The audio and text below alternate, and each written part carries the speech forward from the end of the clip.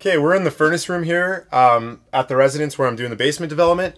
Um, just going to explain uh, heat runs and cold air returns um, to the furnace. Um, when you're doing a bedroom in a basement or any separate room other than a washroom in a home, you need to have a cold air return, which recycles the air back to the furnace um, from each individual room, reheats it, and sends it back out.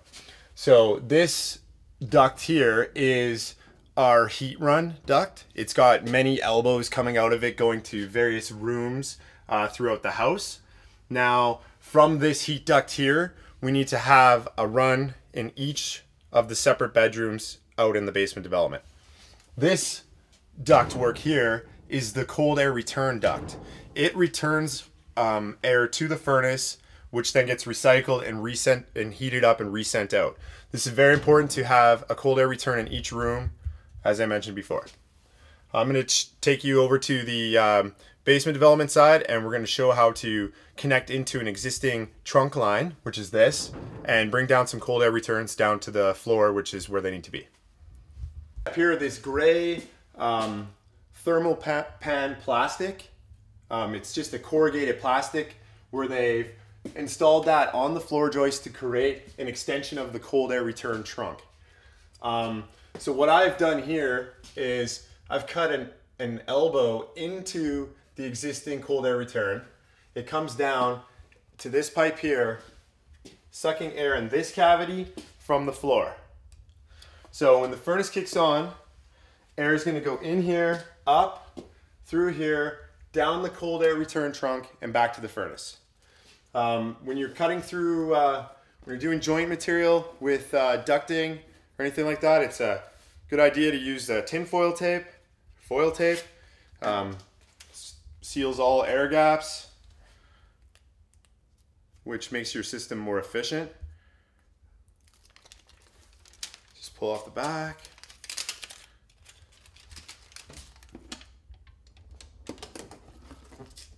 Now you can see here I've got all the other pieces all the way around, just ensuring that the uh, seal is nice and tight around the thermal pan to the elbow.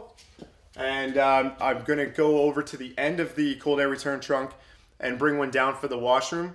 Um, that one is not gonna need a back of thermal pan. It's gonna use drywall on both sides of the wall to create the cold air return chase.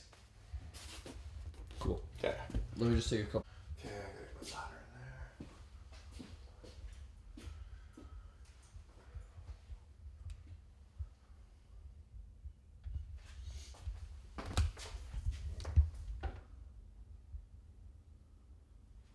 Looks pretty good from this angle over here too, just because you get the whole length. Okay. You're all ready? Yeah. Okay. Uh, now I'm gonna bring the cold air return from the existing trunk down this wall cavity to supply cold air return for the bedroom um, down at the floor.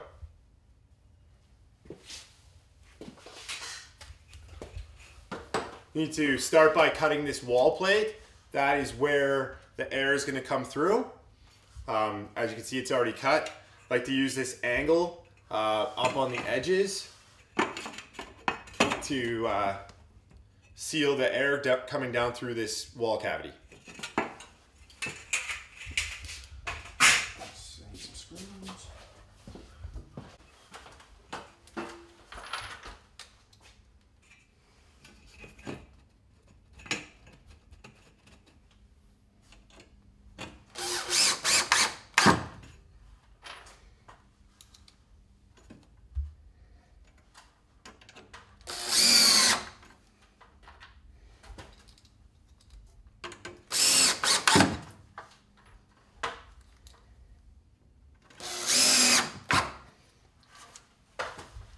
Okay, while I'm here, I'm gonna remove this piece of corrugated plastic uh, because once our drywall is in here, it will do um, the sealing of the joist space to create the cold air return. So it's uh, no longer necessary and uh, will make your drywall bulge down if you don't remove it.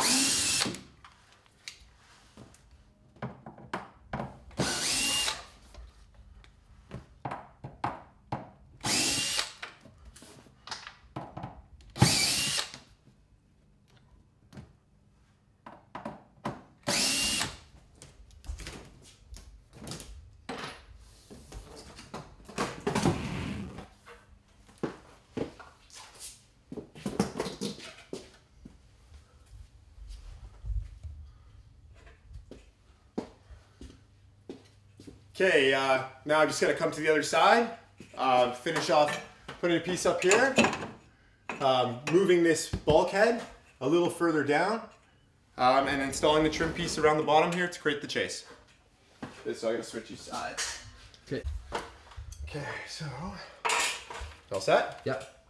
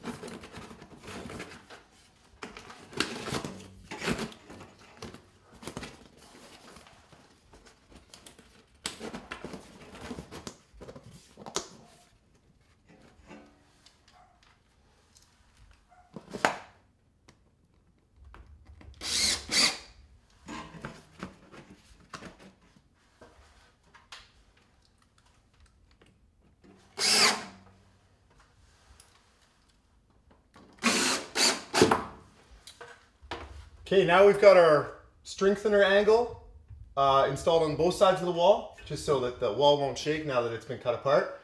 I've got a bulkhead installed here to stop the cold air from continuing down this chase. We uh, don't need it to be down the length of the whole floor, floor joist, so we just install this bulkhead. Um, now I'm ready to move to the floor and put the grill on and uh, should be ready to test.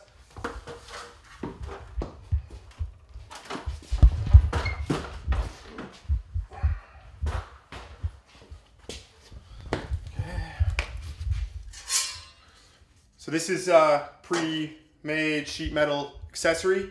Creates a six inch by 14 inch opening in the wall cavity.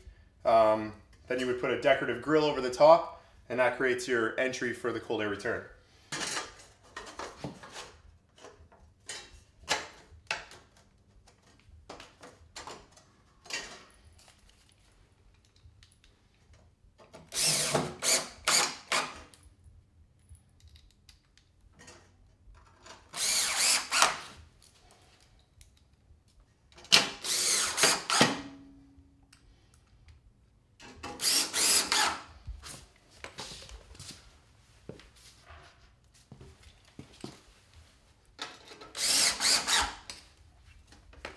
Right, nice and firm. Drywall is going to go down on each side of this, cut around this edge, um, and uh, finish with a nice grill.